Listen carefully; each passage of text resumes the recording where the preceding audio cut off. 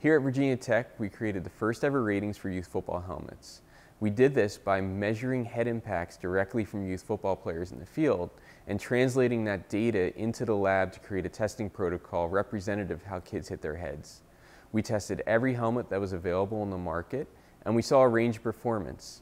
We had a handful of five-star helmets, which are the best available, four-star helmets and three-star helmets. Every manufacturer had a five-star helmet available and consumers can use this information to make informed decisions when purchasing helmets. Children aren't scaled down adults. Um, they have larger heads relative to their necks, their necks are weaker, and their brains are still developing. And these differences between adults and kids um, suggest that helmet design should be different. This is important because if you think about all the people playing football in the US, the majority of them are kids.